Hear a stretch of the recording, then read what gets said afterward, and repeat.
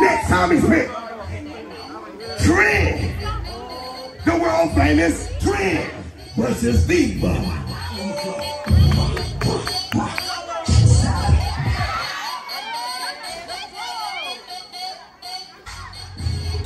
Wow.